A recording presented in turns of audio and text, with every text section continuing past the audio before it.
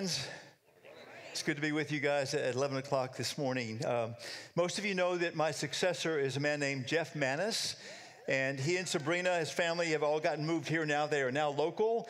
So uh, we're thrilled that they're, they are here. They are in a period of sabbatical, which means that Jeff is not interacting with staff or board. Or the whole idea is to be set apart, right? time with God, time to refuel.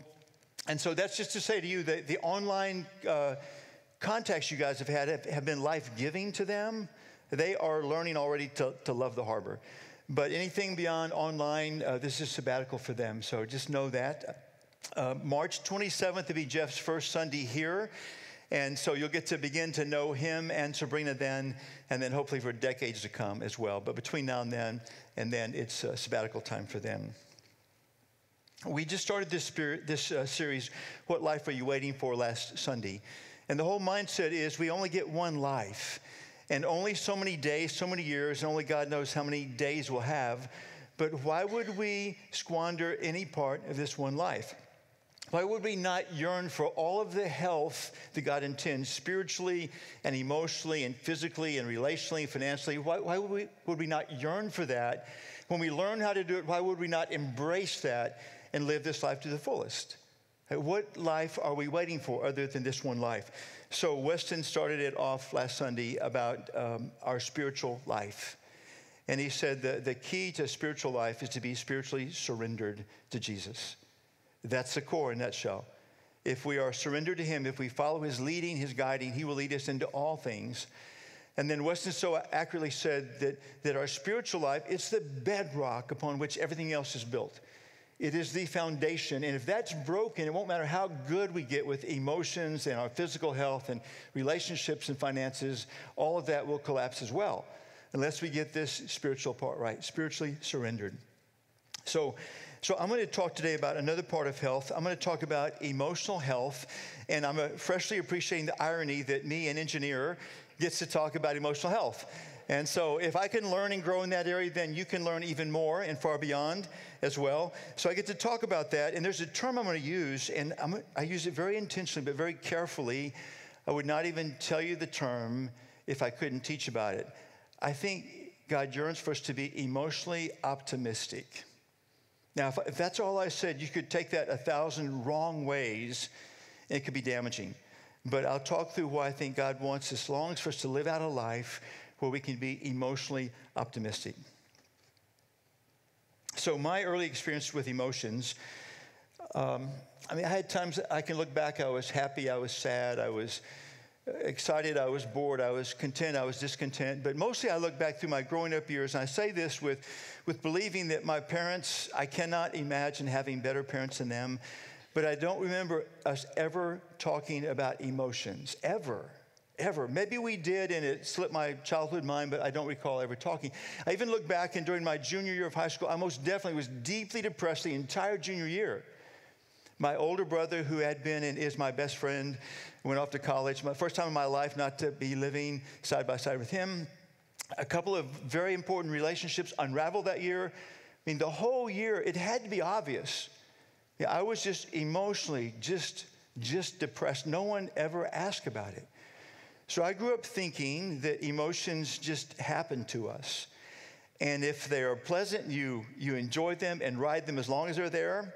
If they become unpleasant, you suffer and hope they don't last long, but they just happen to us. They come and they go. So, and then I married Marie, which uh, has brought so many good things. But I married Marie. We are a year and a half into marriage. Um, she graduates from college in December, a year and a half in. My company transfers us from Houston to Dallas on January 1st. We're in, Jan- we're in Dallas on January 1st, and we left the, you know, the chaos of Houston traffic and everything. We're in Dallas, and I go out the very first morning, January 1st of that year. It was 1979, which was the worst ice storm they'd had in forever. It didn't dawn on me. I just got out, and there was no traffic. I said, We're going to love this place. You know, there's nobody on the road. Commuting would be easy and everything. And I came back to Marie and she said, Did you hear the news? I said, No, no. They said, you know, everyone's off the roads. It's, you know, it's so dangerous out there. And I thought, well, that explains why the roads were empty then. So we made this move. Marie moves away from her family, all of her best friends, all of her friends. She starts a brand new career in a difficult work situation. And she begins to get depressed. And I can see it, but just stuff happens.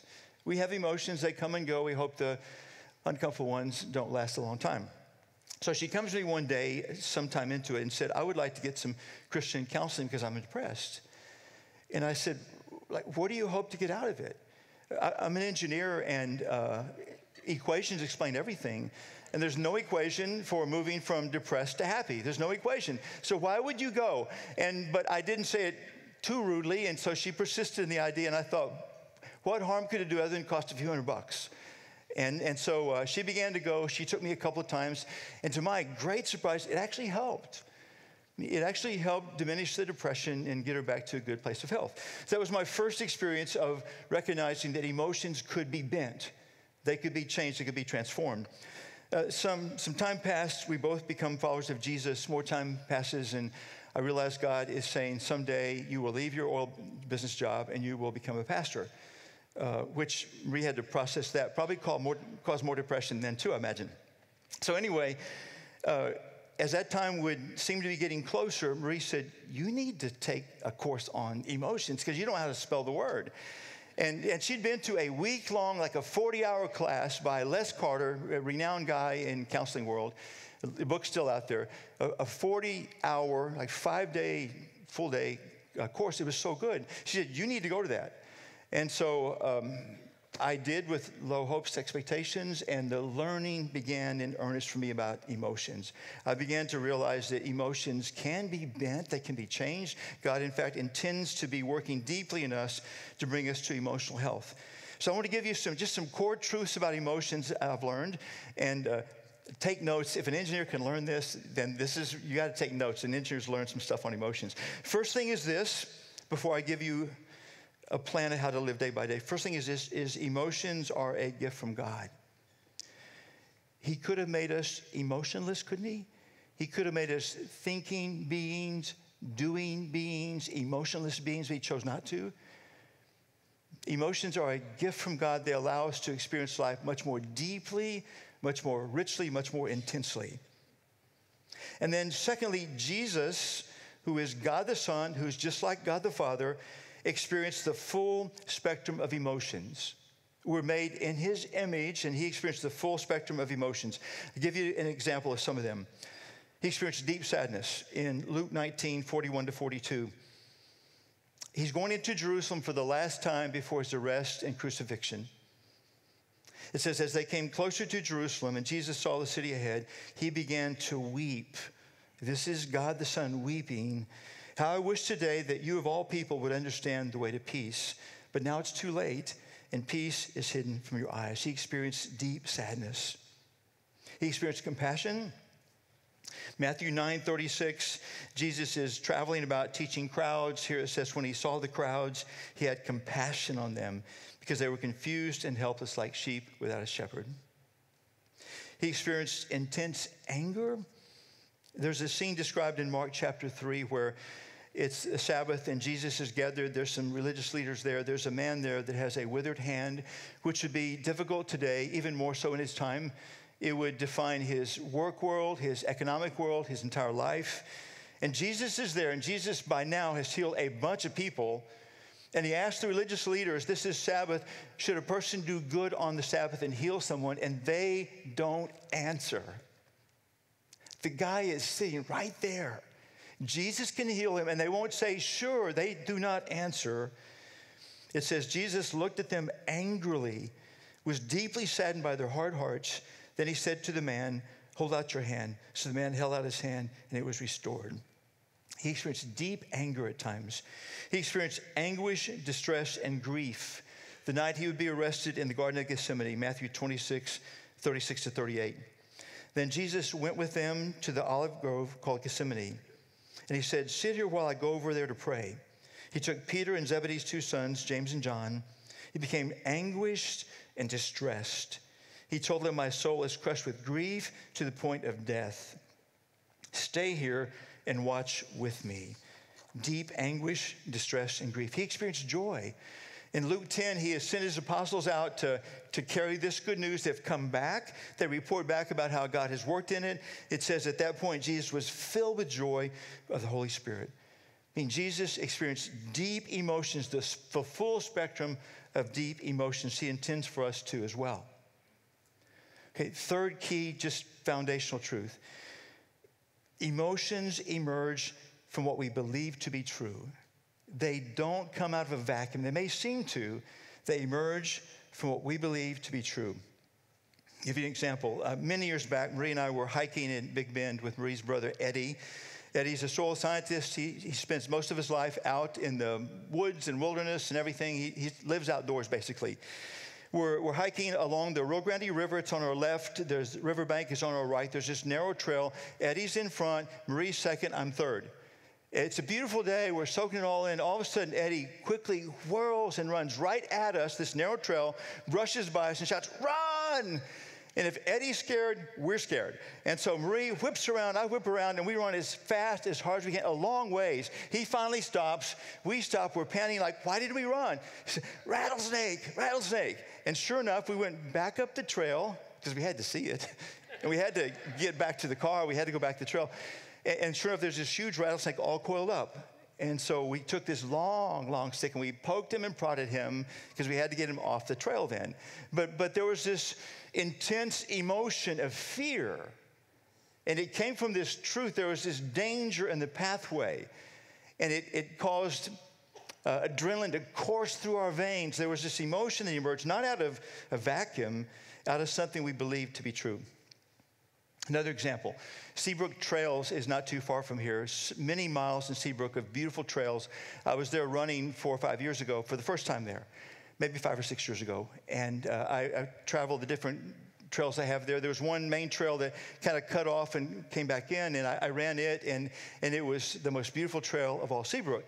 It's a place where the trees form a canopy over the entire trail. So in the summertime, there's full shade, and the trees have dropped these pine needles on the trail. So the trail is very soft and it curves. It's just spectacular beauty. So I, I ran through that and thought, I will come back to this part every time. Second time I came back, I ran the trail, and I noticed there was a snake that uh, was in front of me that slithered off, but it wasn't a rattlesnake. I grew up around rattlesnakes and I know them. It wasn't a rattlesnake, and so it didn't faze me at all. And, and so, great peace of mind. I, next time I ran, I made sure I ran that part.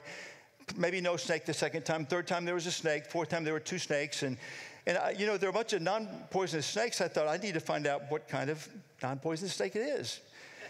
and so I checked, and it was, um, what's the term? Aggressive, highly poisonous water moccasins.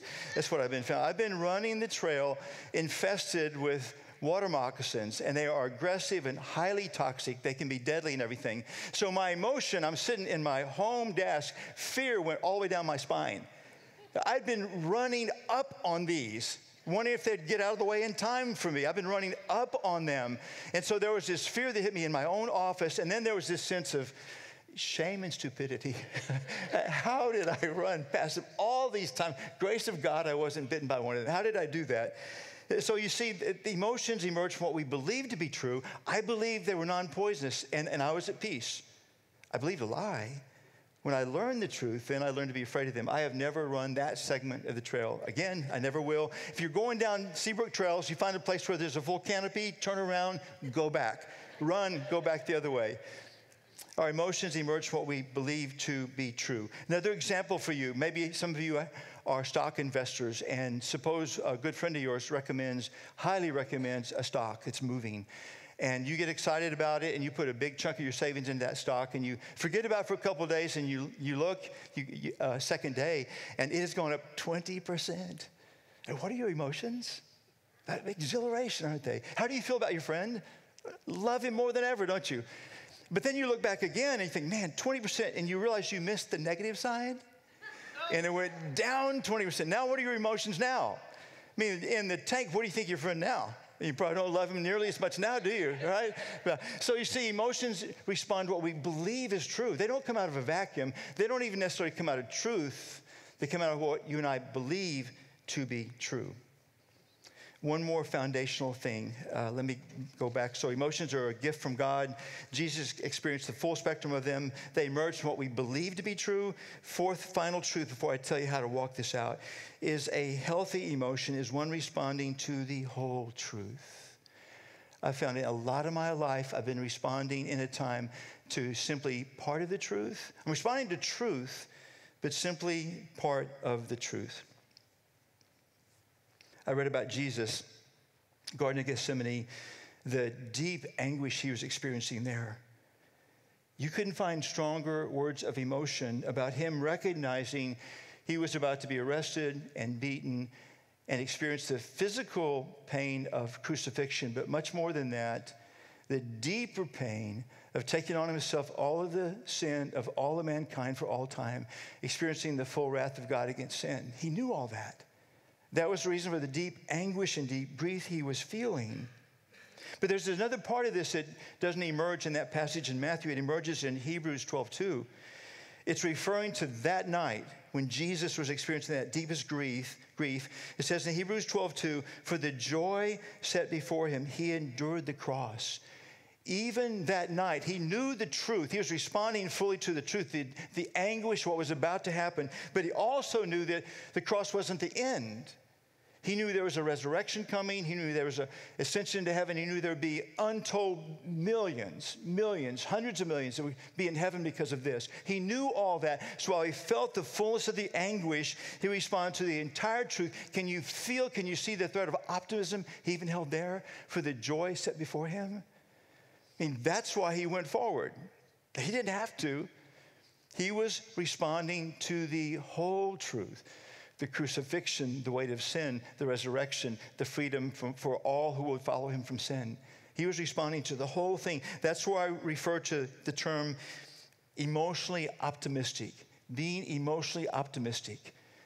I mean, that's, that's how Jesus lived this planet. He fully experienced all of the truth, not part of the truth, all of the truth at the very depths. So, this is how it would look for you and I to live out those truths in practice we, need, we, we must tend our emotions. We must tend to our emotions. Proverbs 4:23 says, "Guard your heart above all else, for it determines the course of your life." Guard your heart above all else. And to the writer of Proverbs, the heart would mean both the mind and the emotions. He, he would say you need to, to tend all of this, guard all of this. It includes the emotions. Guard your emotions, for it determines the course of your life. And, and so um, to, to do that, to tend to it, I think of how Marie and I tend to our backyard. Uh, Marie's been very specific about how she's uh, put plants in it and flowers in it and put a patio on it, has bird feeders around it, and we call it our little Garden of Eden. It is to us. And some of you, I'm sure, have much more beautiful backyards, and it wouldn't be to you. It is to us. But we have to tend to it. We have to see when it needs to be watered, when it needs to be fertilized, when weeds need to be pulled from it, when it needs treatment from insects. There's a portion of the yard I know now. Every August, fungus will begin to emerge. I have to treat it two or three times to get rid of it. We have to tend to our little Garden of Eden. In the same way, we have to tend to our emotions. Three questions can do that. First is this What emotions am I feeling? Just Pause long enough in the day and ask, what emotions am I feeling? And there'll be some days you don't, maybe you don't sense any emotions, and maybe that's pretty close. There's nothing moving in you. But most days you'll, you'll be able to sense something, and maybe there's a, even a, a collection of emotions that you feel. Maybe not just one, but, but the first thing is just simply to be aware of it. And now, if you're not in practice of this, I would recommend you just put it on your calendar. Wherever your calendar is, I'll put on your calendar, just, just pause at least once each day and just ask the question honestly, like, what, what emotions am I feeling this day? Don't let them just run rampant because they will. What emotions am I feeling? Second is this what perceived truth is behind those emotions? What perceived truth? You, you and I may be responding to truth or we may be responding to a lie. What perceived truth? What is it, what is it that is creating this emotion? What is the, the snake or what is it that's, that's going on in my world that is creating this emotion? And, and I've learned this um, sometimes I have not been able to put my finger on why the emotion is there. Even with a lot of thought, a lot of prayer, I've not been able to do that. There's a case many years back. Uh, so I've been a pastor for a while, and I recognized every Sunday I would teach. Then I would teach every Sunday just about. Every Sunday I would teach. I would go home and I would feel like I just, I blew it every time. And, and, I would know I could look back and I had prepared well. I'd done my very best. And sometimes I could see people were touched and moved, but there was this, there was this internal message just saying, you just, you blew it. You just didn't do it. And, and I couldn't figure out what or why. I was uh, spending time with a counselor in that season. And out of some time with a counselor, something emerged that was buried so deep. It didn't even have words at the time. I, I found words around it, but I found where the message came from. When I was a six year old little boy, Went to first grade. First report cards came home. I made all A's, straight A's. I've told this story once before. You may know. Deep South Texas, most of my new friends uh, were Hispanic and they knew Spanish. A few of us knew English and they were teaching English. And I was really good.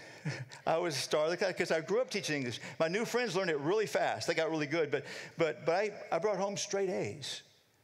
And my parents, being good parents, applauded me and said, Well done, well done. And they just meant, that's all they meant. But looking back, I began to take the message I have to be exceptional.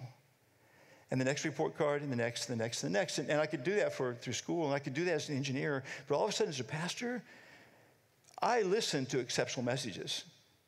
And I know I go home, mine are not exceptional. They, they are my best, usually, my very best. They're not exceptional.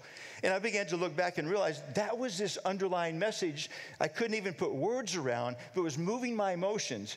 I, I would serve God with authenticity, with effort, giving my very best, and I'd spend the afternoon feeling rotten. And it all changed then because I would finish on a Sunday and the emotion would well up, and I knew where it came from. And my practice ever since, and it'll be my practice this afternoon, before the day's done, I get along with God and say, How did I do? That you're the only one that knows. You're the only one that really knows. How did I do? Did I give you my best? How did I do? And it is, it is unraveled that consistent emotion of Sunday after Sunday after Sunday. But I needed someone to help me get there. I need a, a great Christian counselor to help me get there. And that happens much more than you might imagine. Mark Paling is someone here who I have deep respect for. Listen to Mark Paling's story about this. And on the outside, I was uh, portraying that everything was okay uh, when it really wasn't. I, uh, I entered a period, um, a prolonged period actually, of, of real personal struggle. Um, I had a lot of trials that I was dealing with in my life. Um, my marriage was struggling, uh, it was in trouble. Um, I was trying to continue to lead my two boys well as they were growing up and growing out of the house. Uh, my job became very demanding uh, and stressful, and um, it was stealing my joy. Um, it was challenging my faith, and on the outside, I was uh, portraying that everything was okay.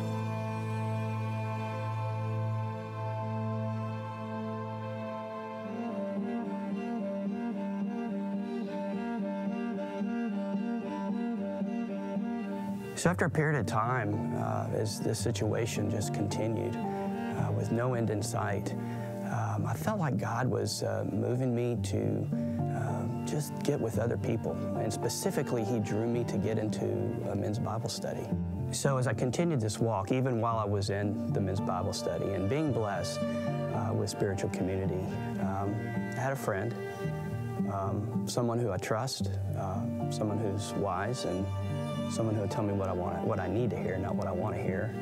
And uh, he said, "You know, Mark, I think I think you're carrying some extra emotional baggage, and um, I, I think you should talk to a Christian counselor about this." And I remember when he said that to me, uh, feeling sort of surprised. Uh, I, I hadn't really considered that before. And it wasn't because I felt like Christian counseling was a negative thing or a bad thing. Uh, certainly, I didn't feel like I was above it.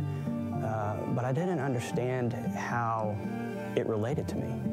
I, I, didn't really have an understanding of how it could help me. I reached out to uh, a Christian counselor and um, had a couple of sessions. And, and as we progressed in that process, uh, the counselor really started to identify for, for me emotions that I was struggling with uh, that I, I wasn't even aware of. I think the first thing that, that, that God did was help me to see my situation for the way it was and help me to see the things that I could control and work in collaboration with Him uh, for the things that I couldn't control. And uh, as we continued to progress, uh, my counselor also started to equip me with ways to to deal with these emotions. Right, I started to be equipped uh, in, in, ways to uh, respond and process my emotions in a much healthier way um, that also aligned with my faith and also aligned with God's design for me. And um, as, I, as I did that uh, over a period of time, uh, I found myself moving from a state of, of being very down, uh, feeling like life was a burden, and I felt the burden being lifted. Um, I, I, felt my steps getting lighter. I felt my joy returning. Um, and I felt a peace that I hadn't felt in a long time. I believe if I had said no to God when He was drawing me into Christian counseling, um, I would have survived the circumstances that I was in, um, but I would have missed tremendous growth, um, emotional growth, and spiritual growth. And, uh, and here I am now, and, and uh, my walk is closer than it's ever been. And, and I, I would have missed that relationship with Christ, that intimacy with Christ, if, if I hadn't taken that step into Christian counseling. And you are, man. You are a masterpiece. you are, brother. I mean, gosh. Um, not any more or less special, but I just uh, am blessed to know you. Oh, guys, I'm blessed to to share. You know, I just um, I told Kevin, I, I just said um, one of the ways that God has blessed me and is continuing to bless me is by by putting people in my path that I can encourage through my own struggles. I, I truly, uh, I truly get energy from that, right? And that's why when he asked me to do the video, I was, you know, a little bit daunted by it, but I was like, wow, I mean, if God can really use this to encourage just one person to come to Christian counseling, go to Christian counseling and uh, consider something they'd never considered before, man, how blessed would that be? I have seen uh, the last two years this growing wave of folks at the harbor who have said, I, I want to get emotionally healthy and strong. And uh, they have leaned in to meet with a Christian counselor. And uh, person after person has found a much deeper uh, emotional health because of that. And it's because for most of us, there's some messaging that's so deeply buried, we, we don't even uh, have ways to access it with our mind. We don't have words for it, but they're impacting us. And so we have found across uh, this part of the Houston area, we found the best counselors that are out there. And if you find yourself thinking there's probably something for me to, to gain from that, uh, just contact us. And we can help connect you to some of the best counselors you could imagine. What perceived truth is behind these emotions? That's the second key question to ask. And, and to be able to get to the bottom of that is crucial as well. Many times, counseling is part of that process. The third question to ask uh, is Is it the whole truth? So I'm responding, my emotions are responding to perceived truth. Is it the whole truth? And this is what I've found that has helped me more than anything in the world. For many years, I studied the Bible and I really was asking two questions. I was asking, What do you want me to know, God? Like, what is the truth? What do you want me to know? And what do you want me to do? Give me a bunch of head knowledge, send me off on a mission, I'll do it. But somewhere along the way, I, was, I began to recognize, maybe the Spirit's prompting, I wasn't letting God actually change my emotional life until I inserted a middle question What do you want me to know? What do you want me to feel based upon that truth? And what do you want me to do? And it began to change everything, everything. Years back, uh, two, three years back, uh, I had uh, a medical event with my eye. I thought I could lose sight there. I lost part of it, but I thought I was, could lose the entire sight. It was a shock to me, and, and I remember feeling such anxiety and fear. It may sound strange, but it was very, very real for me with the, the idea I could live with one eye going forward. And God had given me this passage. He put it in front of me a couple years before. even bought a couple of journals that have this on the journal. It's Isaiah 41:10. It says, "Don't be afraid, for I'm with you. Don't be discouraged, for I'm your God. I will strengthen you and help you. I will hold you up with my victorious right hand." I've been reading that every day. I open the journal, it's right there. And all of a sudden now I'm experiencing deep fear, deep anxiety. I pull it out and I read it, and nothing happens. And I realized I had this head knowledge that said, Don't be afraid, I'm your God. Don't be discouraged, I'm with you. Uh, the whole nine yards of it, I had the head knowledge, but it never sunk in so deeply, it moved my emotions. And so day after day after, I just lived in that. Okay, God, you said, like, don't be afraid from your God. You're saying, I am your God. Don't be discouraged, for I am with you. I will strengthen you and help you. I will strengthen you and help you. I will hold you up with my victorious right hand. And finally, after some days that, it began to sink into my emotions as well. Like, this was the God of the universe saying, You're going to be okay. If you live with one eye, I will be your God. I will be with you. I will say you are going to be okay. And it changed my emotional life in that time. Simply because I let Scripture speak into not only my informational brain, into the feelings of my heart as well, and move the needle. Philippians 4:19 is a passage I hand out like it's candy. says, uh, Paul writes, the same God who takes care of me will supply all of your needs from his glorious riches, which have been given to us in Christ Jesus. He's saying, I will su- supply all of your needs. Now, Marie reminds me, he doesn't say all your wants, but all of your needs. And there was a time, Marie and I, back between engineering and pastoring, there was a time that we lost our most valuable possession. We had, we had very little left financially, and, and our family was, was in deep distress about that. And somehow this truth had soaked in so deep in us, it never fazed us at all. I, I wish I could say that about all Scripture, but this one for some reason had sunk in so deep. Maybe for you, this is one you need to hear. This is just an illustration of what's in Scripture. And every single section I've turned to, God has found something to move my emotional needle in the right direction. Nehemiah 11, man, this is a barn burner. You have to open up and read Nehemiah 11. You know what it is? It's name after name after name after name after name after it's just a whole bunch of names. And so i was reading this and get okay i get it god. Can i skip to the end of the chapter? And i'm sensing god say read it read it read it. So i kept on reading. I finally said what am i supposed to feel about this? Yawn. Because i said god i don't give a rip about these people. I don't care about these names. And i felt him say but i do. I, I know each one intimately. I know their names. I put their names down in eternity.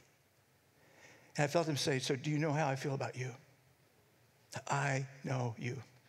I know your name. You're my son's follower. You'll be with me through all of eternity. It, it changed my emotional world. If you want to try to live this out where you can ask the question am I, am I, responding to the whole truth? The best way I know to direct you is to Scripture. And ask three questions, not two. Ask, what do you want me to, to know? What do you want me to feel? What do you want me to do? So, in your emotional world, I would say to you, as I say to myself, like, what life would you and I be waiting for to, to grow health in that area? Like, what life would we be waiting for? to, to try to grow into a place where we can be emotionally optimistic in the deepest way, in the deepest, where we can feel to the very core the hard things. I have had some of the deepest human anguish I could imagine, and I have felt it to the core. At the same time, feeling the presence of God to walk me through that as well. What life would you and I be waiting for? A couple of closing thoughts around this for you. One is this is to understand that some depression and some anxiety can be can have nothing to do with spiritual life at all. It can be driven by chemical imbalance. And so, if you're uh, battling with depression or anxiety and none of this seems to move that, then thank God we live in the time now where there are medications that can help, can correct that, that chemical balance. There are doctors and psychiatrists with expertise in this area. So just know that. If you're struggling and you're living all this out, you're still struggling, then look at that option, that possibility as well. Second thing is this I've just touched the tip of the iceberg on this, and there's there's an exceptional book called Emotionally Healthy Spirituality by Peter Scazzero. I would highly recommend this book. We have a few copies in the back. Highly recommend it to you. Deep insights, very, very readable, very, very impactful to one's life. And then there's a second book that kind of takes that and lets you helps you live it out day by day. It's called Emotionally Healthy Spirituality Day by Day by Scazzero as well. A few copies of that in the back as well.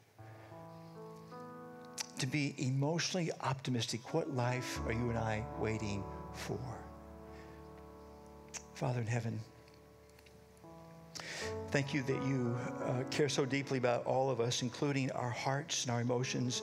Thank you for giving us the way, uh, the means and the way to live with healthy emotions.